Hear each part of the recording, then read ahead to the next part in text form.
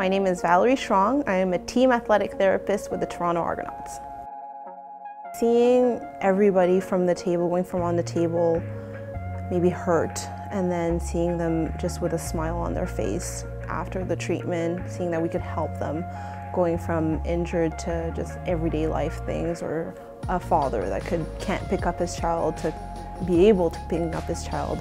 I wanted to be part of that, so that really what drew me into athletic therapy.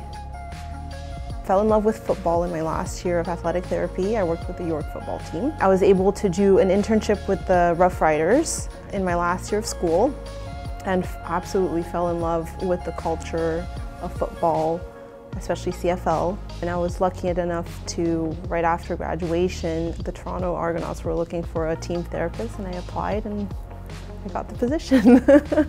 As an Asian woman in, the, in this industry, I did have to navigate a few barriers where my interviews were male dominant, um, even white male dominant. Um, and just to break those barriers to me, I just stuck to my culture and what my pa parents instilled in me to do a bachelor's of psychology and that was already left field for them, which they took it, you know, they took it all right. But then when I told them that I'm going to do something else, it kind of hit them hard a little bit. I tried to explain to them exactly what athletic therapy entailed, what types of jobs I can do, what environment I could work in. They were still kind of hesitant, but once I got into my program at school, they saw a change in my character. They saw how confident I got and how much I learned and how much I excelled.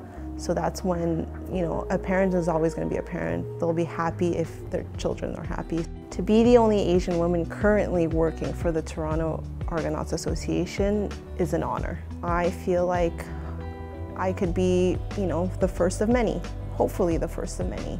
Just thinking about what my family has gone through in the past, like my mom being from Vietnam, coming here from the war, and then that I'm here, first Asian woman in a pro association is huge to me. I'm just hoping that this will open doors for not only more women, but more Asian women. My advice I would give, don't be scared.